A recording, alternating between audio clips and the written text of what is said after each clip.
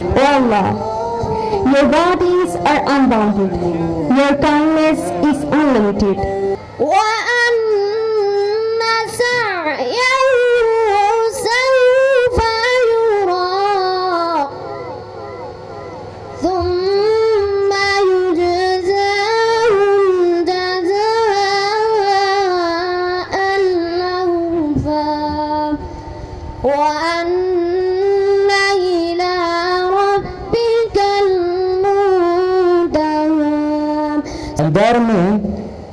shall not deserve but the reward of his own effort. And that effort will soon be seen. Then he will be recompensed for it in full. And that, your Lord, is the end of everyone.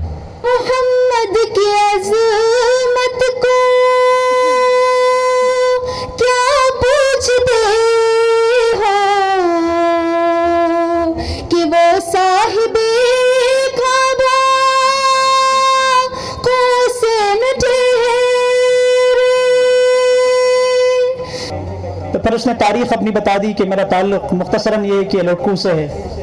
बहरहाल वो मुझे लेके इधर आए। वो कहने लगे कि साढ़े चार साल की उम्र में मेरे वालिद साहब ने मुझे लड़कू वैली से यहाँ शिफ्ट किया और कुतैबा स्कूल के अंदर मेरा एडमिशन कराया गया। वो कहने लगे, मेरी अपनी अम्मी के साथ अटैचमेंट बहुत थी। Left my home, I cried a lot मैं बहुत रोया। जुमे की छुट्टी होती थी। जुमेरात का शिद्दत से इंतज़ार होता था कि दोबारा वालदा से मुलाकात होगी। तो मुख्तसर सी कहानी यह है। फिर मुझे लेके इधर आए। यहाँ जो केनात लगे हुए हैं, यहाँ खड़े होकर मुझे कहा कि this was the place where I stood for my assembly कहने लगे I use to look at the top of those mountains and I cried a lot in the anxiety of separation from my mom. Literally, he was shedding tears. And he made me cry as well. तो बहरहाल ये एक सफ़र का आगाज़ था। ये नौजवान कोई और नहीं था। नूरुद्दीन जलाल इस नौजवान का नाम है। जैसे इंट्रो के अंदर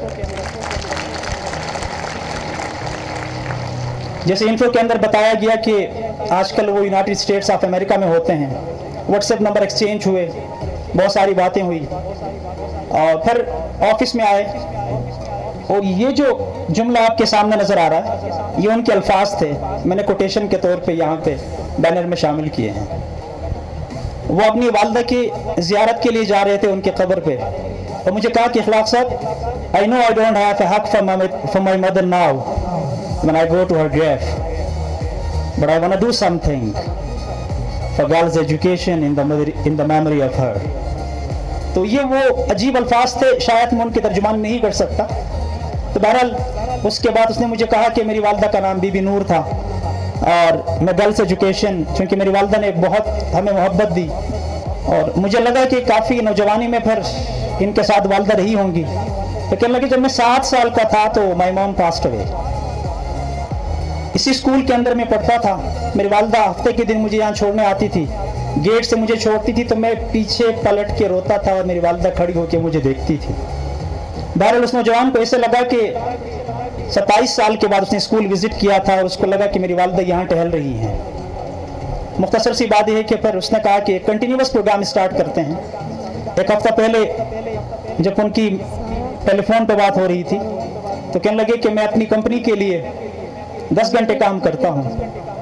और जब से मैंने Bibi Noor scholarship program start किया है मैंने ये अहद किया है कि मैं रोज़ाना छः घंटे इजाफी अपनी वालदा के लिए काम करूँगा बहरहाल उसूल बेच के मसनत खरीदने वालों निगाहें अहले वफा में बहुत हकीर हो तुम। वतन का पास तुम्हें ठा न हो सकेगा कभी कि अपने हिर्स के बंदे हो बेजमीर हो तुम। और साथ ही मैं बीबी नूर स्कॉलरशिप प्रोग्राम के लंचिंग के अनाउंसमेंट के हवाले से मैं मुहतरम नूरुद्दीन जलाल साहब को दिल की अतः और उनसे उसका शुक्रिया अदा करता हूँ। मैं उसका सलूट पेश करता हूँ कि उसने ममता के साथ मोहब्बत का एक ऐसा सबूत दिया कि वो ज़बान के ज़रिए बयान नहीं किया जा सकता।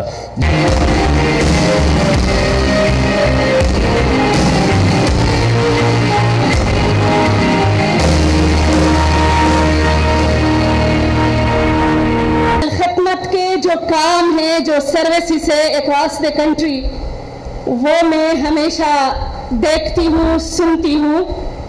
चाहे वो एजुकेशन साइट पे हो, वो सेहत के शुबे में हो, वो डिज़ास्टर के वक्त हो, या यतीमों की कफालत तक इनके जो खदमात हैं, वो काबिल तहसीन हैं। Education is the key to success.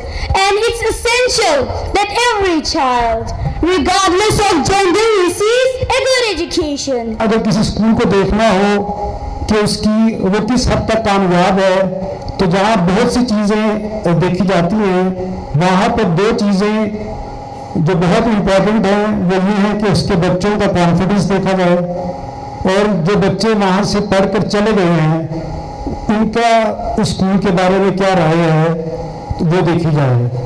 Confidence आज हम सबने इन बच्चों का अपने सामने देखा है। कंपेयरिंग से लेके, तलावत से लेके तकरीरों से और हर चीज़ के अंदर जो टेबल्स भी पेश हुए, हर चीज़ के अंदर हमें कॉन्फिडेंस नज़र आया। और जहाँ तक एलुमनाई की बात है तो नूरुद्दीन जलाल साहब की मिसाल हमारे सामने है। ये कहना आसान है किसी भी स्कूल के लिए कि जी हमारा एलुमनाई से बड़ा रबता है। लेकिन जो मिसाल आज हमारे सामने है, जिसके लिए हम सब यहाँ पे इकट्ठे हुए हैं, ऐसी मिसालें बहुत कम मिलती हैं। ये हम सब के लिए मशरा भी है, और जहाँ पे जो बच्चे इस वक्त यहाँ पे पढ़ रहे हैं, उनके लिए ये मोटिवेशन है कि वो स्कॉलरशिप हासिल करें। लेकिन जो उनके लिए एक और बात ये भी है कि जब वो यहाँ से पढ़ जाए तो जिस तरह प्रिंसिपल साहबा ने भी कहा तो आप सबसे हम यही उम्मीद करेंगे कि आप ये एक स्कॉलरशिप नहीं ऐसा ही एक कैंपस चित्राल के अंदर बनाएँ।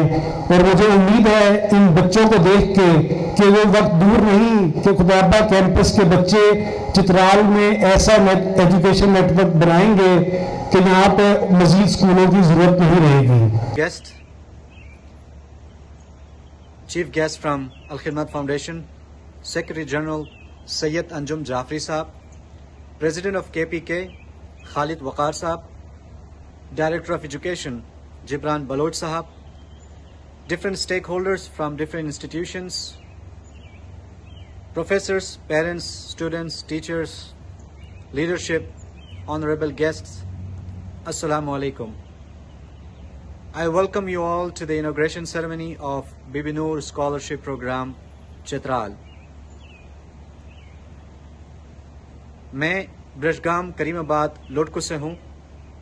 इस वक्त अमेरिका में मुकीम हूँ, अपनी फैमिली के हमरा। अभी रमज़ान के दिनों मेरा चित्राल आना हुआ और मैंने कुछ 26 बरस के बाद अपने बचपन के इस स्कूल को विज़िट किया। मेरी बुनियादी तालीम यहाँ से शुरू हुई।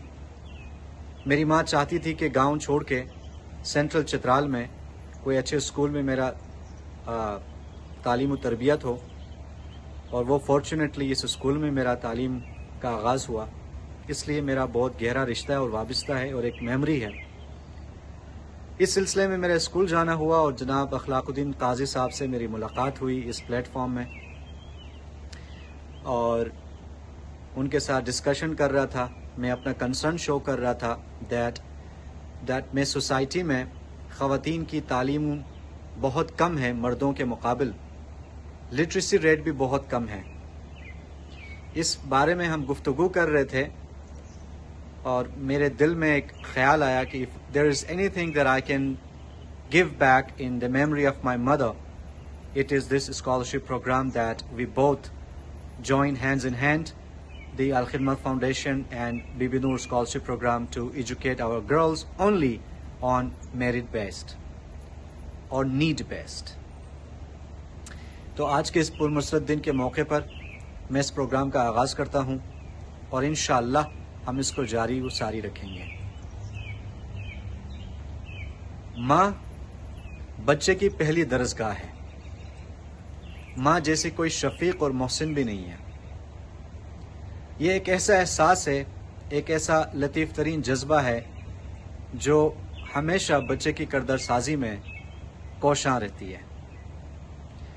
और मैं इस जज्बे को अपने दिल में हमेशा ज़िंदा रखा हूँ, चूँकि मेरी वालदा मुहतरमा इस दुनिया फ़ानी से बहुत बचपन में रुखसत पा गई जब मैं स्कूल में ज़ेर तालीम था। लेकिन मैंने कभी उनकी हिदायत को, उनकी सिखाए गए चीज़ों को कभी नहीं भूला। वो हमेशा मेरे साथ, मेरे मकसद में ज़िंदा रही हैं। इसलिए खसूस मेरी कोशिश है कि हम अपनी सोसाइटी में अपनी ख़वातीन के ऊपर ज़्यादा, उनकी तालीम पे ज़्यादा तवज्जो दें। तो मैं अपने खसूस स्टूडेंट्स का, उनका मतवजो चाहता हूँ कि आप सुरह अल अलग को पढ़ें। अल्लाह ताला फरमाता है, अपनी महबूब से मुखातिब है और पहला लफ्ज़ इल्म की बात किया है। वो भी तीन बार उनका फरमान है, पढ़ अब के रब, अपने रब के नाम से। आप पढ़ें इस आयत को। अल्लाह ताला गौर व फ़िक्र की बात करता है, जस्तजू की बात करता है, इल्म की बात करता है। इंसान इल्म के बिना इंसान नहीं है। और इंसान में खातन और मर्द दोनों मौजूद हैं। तो अगर हम सिर्फ़ मर्दों के ऊपर तवज्जो देंगे, उनकी तालीम के ऊपर तवज्जो देंगे तो हम एक सोसाइटी को पैरालाइज करेंगे। Because half of your population is women. तो इसलिए मेरी ये ख्वाहिश है कि हम लिटरेसी रेट को ऊपर ले आए और और वो वो कौम जिस, जिसका आगाज़ ही इकरा से हो, वो तालीम और तरबियत में कैसे पीछे रह सकते हैं? हम सबको अपने अपने हिस्से का दिया जलाना चाहिए और इन ऐसे कंट्रीब्यूशन करना चाहिए जिससे सोसाइटी आगे बढ़े। आखिर में मैं मशहूर हूँ। अखलाकुद्दीन साहब इंडिविजुअली आपके एलमनाई का इस कराम का, कि जिन्होंने इस प्रोग्राम को अरेंज करने में मदद की।